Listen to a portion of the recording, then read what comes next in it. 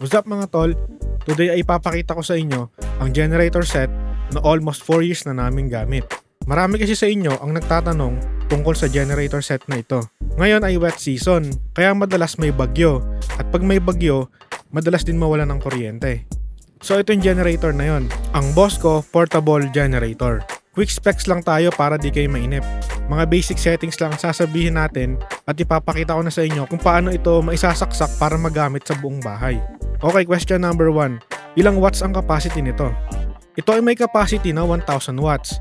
Kaya nitong pagganahin ng buong bahay gamit ang mga basic appliances gaya ng electric fan, ilaw, laptop, mga smartphones, at radio. Hindi basic appliances ang aircon, ref at microwave ha. Para ma-picture out nyo kung gaano kalaki yung 1000 watts, kaya nitong paganahin ang 20 electric fans ng sabay-sabay. Question number 2. Magkano ang konsumo nito sa gasolina or diesel? Ilang oras ang tinatagal nito? Itong genset na ito ay gasoline type dahil portable genset lang naman ito. Hindi ito diesel. Ang mga diesel engine motors ay ginagamit lang sa mga malalaking generator gaya ng mga nasa malls or yung mga genset na 5 kilowatts pataas na ang capacity. Itong portable genset na ito ay kumukonsumo lang ng tumataginting na 150 pesos worth na gasolina sa loob ng 12 hours or 12 oras. Ganun siya katipid. 150 pesos in 12 hours. 37 pesos per liter lang kasi ang gas as of now. Okay, ito yung last question nyo. Saan ito nabibili at magkano? Ito ay nabili namin sa Ace Hardware sa SM Pampanga. Tumingin din kami sa Ace Hardware sa ibang SM at Save More. Meron din sila nito. Pero tumingin kami online, Lazada and Shopee, wala siya. Kung meron namang SM or More na malapit sa inyo, for sure baka meron din yan. So magkano ito?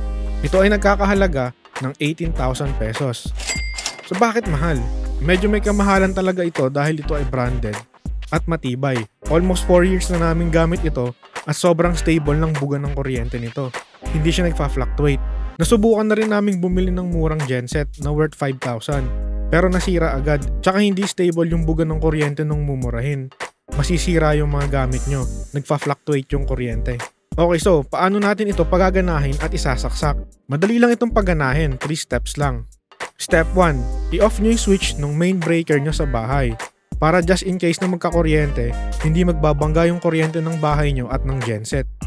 Hugutin nyo rin yung mga nakasaksak na ref, aircon, or microwave nyo. Tandaan nyo, 1000 watts capacity lang ito hindi nito kaya ang mga malalaking appliances. Step 2. I-setup nyo yung generator nyo. Lagyan nyo ng gas at i-check ang langis. Para paanda rin, i-on nyo yung main switch ng genset. Then i-flip nyo sa on yung gas lever. Then yung choke, ilagay nyo sa choke. At hilahin nyo yung tali. Itong start recoil cord. One click lang yan, gagana na yan. At pag umandar ng generator, yung choke, ibalik nyo na sa run.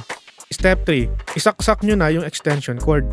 Pero unahin yung isaksak yung cord sa outlet ng bahay nyo bago nyo isaksak yung sa genset. Take note na dapat ang extension cord nyo ay parehas na male to male. So eto mga tol, nakita nyo gumana na siya. Buong bahay may kuryente na, pati sa studio. So kung may iba pa kayong mga tanong or may part na hindi kayo naintindihan, i-comment nyo lang at sasagutin natin agad. Ito si Doc Otep, God bless and peace out.